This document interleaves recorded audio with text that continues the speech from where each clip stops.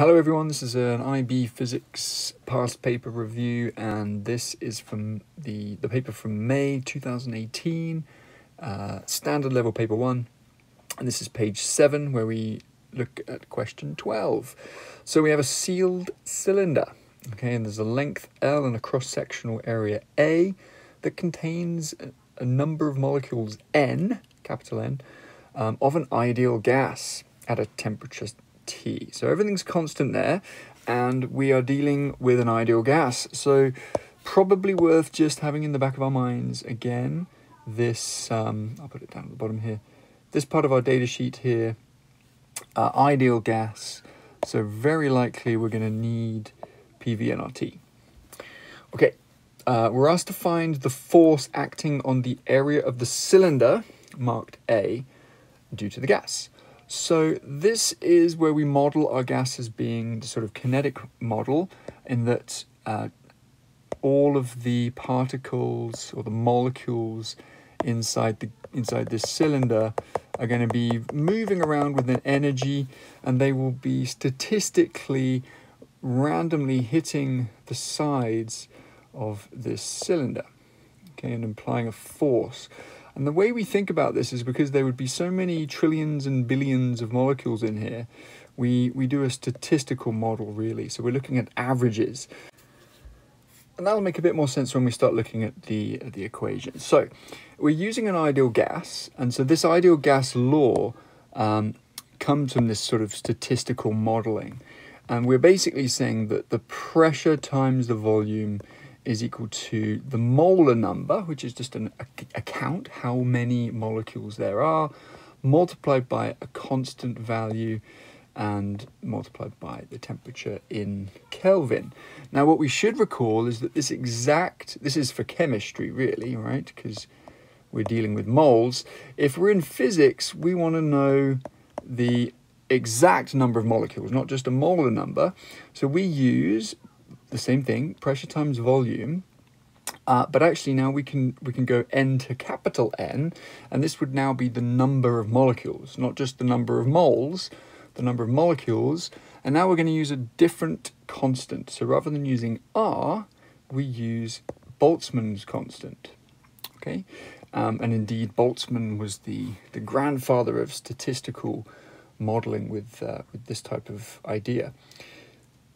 So what we're seeing here is that we can talk about the pressure, the volume, and the temperature, and the number of molecules in a sort of proportional way.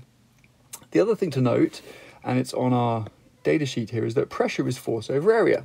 So of course we can carry this on and say that force over area times volume is NKBT. Okay, and what's really cool is that uh, volume is, well, let's do this over here. Well, maybe we'll make some space just over underneath.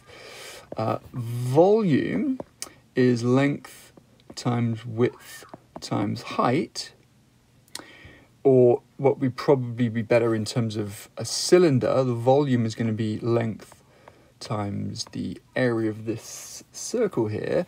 So it might be better to say that, let's get rid of this, it might be better to say that the volume of this cylinder is length times A. And um, that means we can put this in instead of volume. So let's go ahead and do that as well. So just moving this down here, we're going to say that the force multiplied by the volume, but now the volume is length times area, okay? Divided by the area, all of that is now equal to n kbt. And so you can see there that the areas cancel out.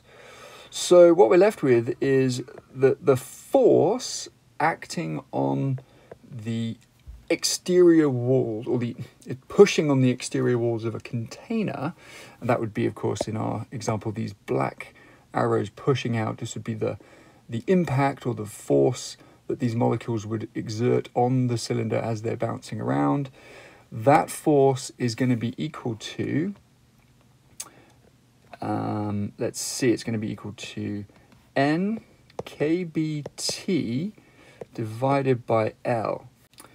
Yeah, that's kind of weird. So because we've cancelled out the areas, there is no um, there's no force per area, so to speak, because we cancelled it out as part of our ideal gas law. So this force is kind of a you can kind of think of it as an average in all directions. There is no um, area value there. It's been cancelled out. So our answer here is going to be D. All right, so for question 13, we have a harmonic standing wave being formed on a vertical string that is three meters long. Um, we're told that it has boundary conditions whereby it is fixed at one end and free at the other. So we're dealing with waves and we're dealing with um, wavelengths. So let's think about what we have on our data sheet. Um, we're going to just keep this handy, just down in the bottom right corner. So what's going on in this question? All right, we have a first harmonic standing wave being formed by this uh, vibrating source and it's th this this string here is three meters long okay and it's going to vibrate such that we have a fixed uh, a fixed end right here at the top and then at the other end, it's going to be free. So in other words, we would represent this as a node and an antinode. So let's draw this in in a bit uh, a bit bigger. So here's my my node right at the, the beginning. I'm going to just draw a dotted line down the middle just to give me a reference point. Okay, so here we go. Out it comes.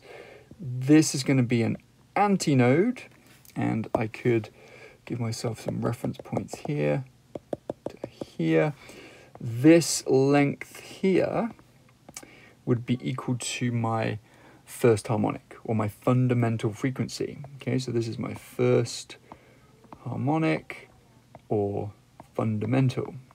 Okay, we could keep going with our wavelength.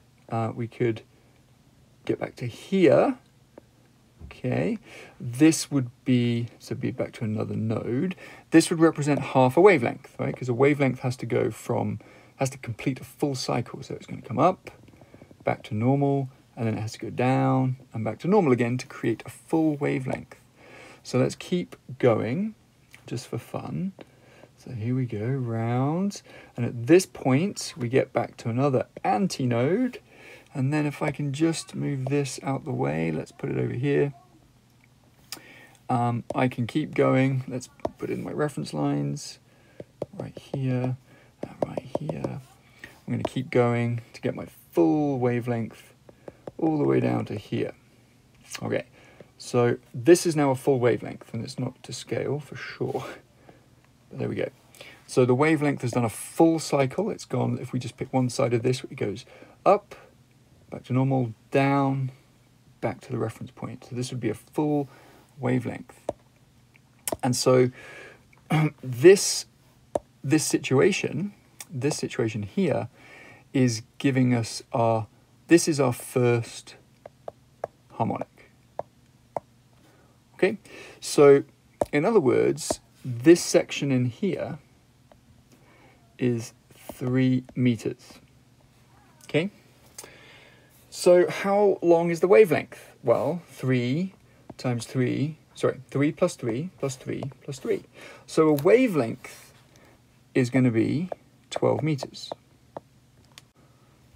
Okay, so we know our wavelength, we know our frequency, and we're asked to find the speed of the wave on the string. Well, hopefully you can see down here our universal wave equation, which in this case would not be c, because that's the speed of light, but just our universal wave equation in other words, v of the wave is lambda frequency. In other words, the wavelength times the frequency. So now it's pretty straightforward.